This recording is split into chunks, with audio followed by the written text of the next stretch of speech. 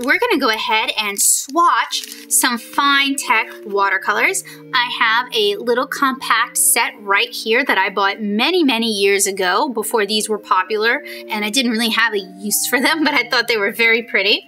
And then I recently purchased a gold, an individually sold gold um, Finetec from Paper and Ink Arts. So this was purchased from, I wanna say Dick Blick many years ago, and this was ordered from Paper and Ink Arts, and they were very prompt in sending it to me. And I am always happy to give them a plug because they are a Nashville area company and they've been um, just very friendly to me. Um, in our dealings, so happy to help them out. So I'm gonna go ahead and swatch these for you guys. The first thing I wanna do though is I do wanna demonstrate opacity or lack thereof. So we're gonna take a regular old Sharpie, totally not archival, totally don't recommend you use this in your art, but for testing purposes, it is perfectly fine. And we're gonna swatch all of these pretty, pretty colors and hopefully that'll help you know if the Finetec colors are right for you. Once we finish with the Finetecs, we're actually going to uh, swatch some Twinkling H2Os, and I believe this is like their tropical set or their waterfall set, something like that. I debox them and threw away the box, and honestly, the names that series names are kind of stupid to me. And it includes Royal Satin, which is a purple, Sea Spray, which is a turquoise blue, and it's very pretty color. Celadon, which is not really Celadon at all. It is more like a light Kelly green if you want to use bogus paint color names. Um, Mango Freeze, which is a very nice orange color, but a little dark for mango. Just Peachy, which is actually a very raspberry color. Now you guys can see why I think color names like this are stupid. And Iris Petal, which is an iris color. So starting with the Finetecs and then doing the twinkling H2Os. And hopefully you guys will see something you like or you don't like or something that helps you out. And I'm gonna draw another line in black to help with opacity. Caveat about both of these types of pearlescent or metallic watercolors is they all need a little bit of time to activate. So we're going to go ahead and uncap them. And I've worked with all of these before, except for this gold. Um, but I know many of you are watching my watercolor videos, you're watching my watercolor reviews, and I thought you guys might enjoy this. It might help some of you. So, you know, for the sake of completion, I am happy to share this with you. And this these tend to be a product marketed pretty much only at crafters and card makers. There is zero attempt at courting us artists. I guess they don't care. But these go back and forth. Um, the Finetecs were originally marketed towards artists, illuminators, those sort of people. So, um, you know, they're very popular right now with card makers, brush letterers. They are a little pricey for as nice, I mean, they are nice, but they are a little pricey and you just may not need them in your collection. Now I have other videos on this channel where we talk about pearlescent watercolors. I have reviewed Artist Loft pearlescent watercolors. I have reviewed Kuretake pearlescent watercolors. I have reviewed Niji pearlescent watercolors, and all of those were actually sent to me by my phenomenal artist friend, Sam. And you guys should totally check out her Photoshop brushes. They are comic um, tone brushes, comic effect brushes. I love them. I've been using her shoujo brushes for years, like before we even knew each other. And you can find those, they're free. You can find those at shootingstars.org and you can check the description below for a link. So we're gonna give these a chance to marinate aka activate. These will take longer than these, but we're gonna go ahead and start with the Finetec, beginning with the gold. And the gold, I've seen videos on Instagram of the gold. Gold is like magic. Of course, unfortunately, Sharpie is a little bit hydrophobic, which means that it is not the best, the best to test with watercolors, but I'm sort of working on a limited supply list. And then we're going to move into the little palettes that I have. And there's several palette sets available from Finetec. Um, I don't just use golds, so I opted to get a palette set that has a red, um, sort of a coppery gold, and then a bunch of iridescents. And I actually don't use the iridescents as often as I thought I would. But I've been working them into my convention watercolors. So, um, those of you who have purchased Pokemon watercolors from me, you may have gotten some iridescents. That is actually a combination of both of these brands. I have used, oh, yeah, barely on camera there. I have used both the shimmering H2Os, sparkling H2Os, twinkling H2Os, will have the correct name in the description and in the title, but I have used those and um, the Finetec pearlescents. They're really iridescents, they're not just pearlescents. So the difference between iridescence and pearlescence is that pearlescent colors will only reflect either the, the color of the paint is the shiny color or a white tends to be it tends to be one color of reflection whereas iridescence will have multiple colors. So i have no idea if this is going to show up on camera. It may just be too bad so sad. But the iridescence in this set there is a pink iridescence that has a little bit of green.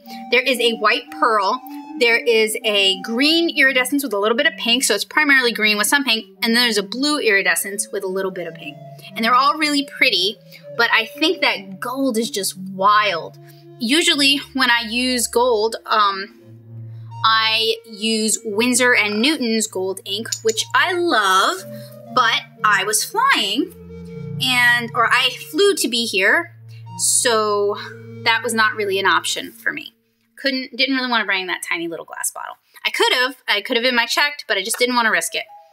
But I really like that little cake. It handles looks very similar, and uh, we'll find out if it, when it dries how opaque it is. Unfortunately, like I said, the Sharpie's a little bit hydrophobic, so not 100% the best choice. Okay, so now we're on to the shimmering, twinkling, sparkling H2Os. And these are more like a watercolor. They're they're um they're more of a color than most of these most of the pearlescent and metallic watercolors I've reviewed here. So you know you can mix these with just like a little bit of a more opaque watercolor like Sakura Koi, like I do in my con watercolors, and you end up with a really nice, rich, sort of sparkly color. So it's really great, in my opinion, for making things that are special for people. So their OCs or their favorite Pokemon, or um, maybe they're. I've done. Oh yeah, I did a painting of a, a young lady. Um, her mother commissioned it, and I used these on her clothing, and it looked really cute in person. And I don't like using special effects paints because, um, except for for things that I'm giving to people in person, because I want what I scan to be what it looks like in real life. So these sort of special effects paint, I they do not scan nearly as pretty as they look in real life. So that's just a caveat. So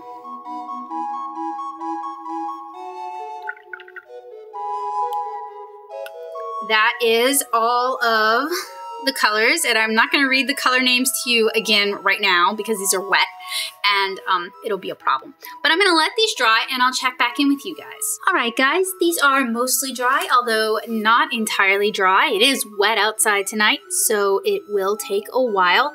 And it looks like to me in areas where um, the the uh, the water had not been pushed away, these Finetecs are moderately opaque, especially the gold.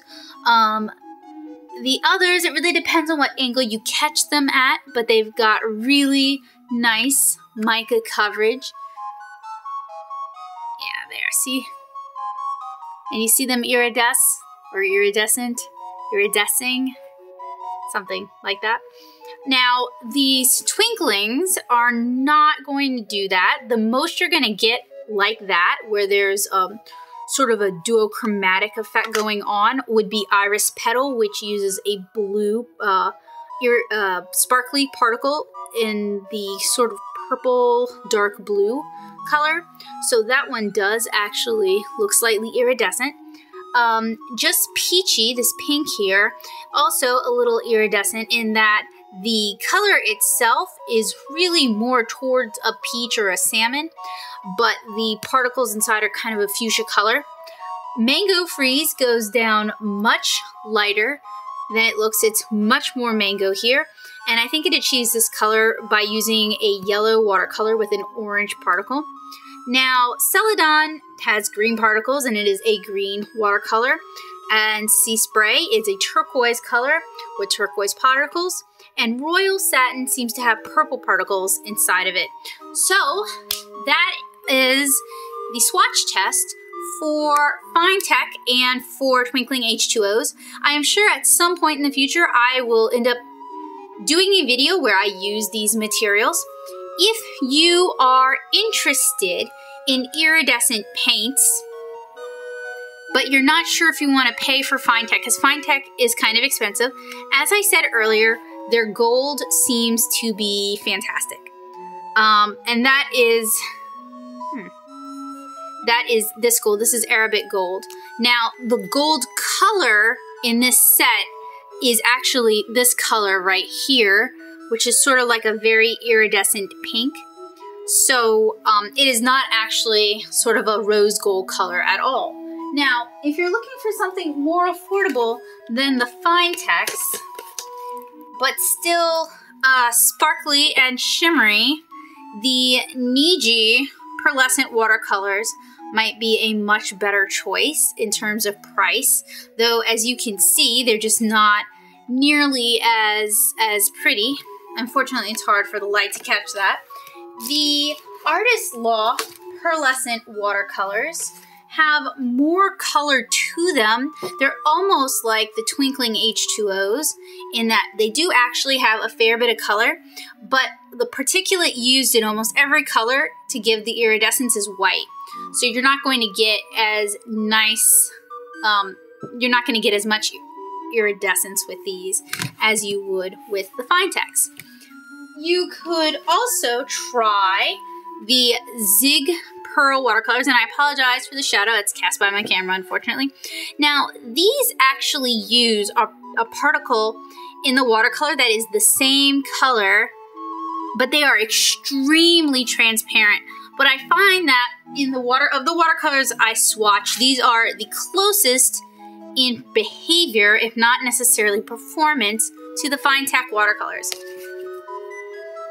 Now, as for the Twinkling H2Os, I only have the one set. I only really found that I, I needed the one set because I don't actually use these all that often, so I don't feel like I, I'm missing out by not having loads and loads of them. But these do use colored particles inside to give colored mica, probably, to give the sparkly effect. And I find that it tends to just look a little nicer when the particle is the same color or an iridescent color than when it's just like a white particle in in a colored paint. So I hope that helped you guys out. I hope it helped you make a decision of some sort. If you have any questions or suggestions, please let me know in the comments below. I would love to hear from you guys. If you if you have maybe tried something that I haven't tried here, let me know that as well. I have mixed um, both Winsor and Newton iridescent medium, which tends to be just pearly white, as well as various FW pearlescent acrylics with watercolors to varying success. And you guys have probably seen some of those on this channel. So I have tried that. But if you have something to recommend that it wasn't covered in any of these watercolor review videos, I would really like to hear from you. And I think I want to try more of Finetec's beautiful gold colors because it's really a very rich gold and I'm quite satisfied with it. So thank you guys so much for watching. I hope you enjoyed this video. If you did, remember to leave a like and consider subscribing because I do these sort of reviews and tutorials pretty frequently. And head on over to the blog at nattosoup.blogspot.com for more of my watercolor basics series. And you can find that in the series tags on the left-hand sidebar. So thanks again, guys. Bye!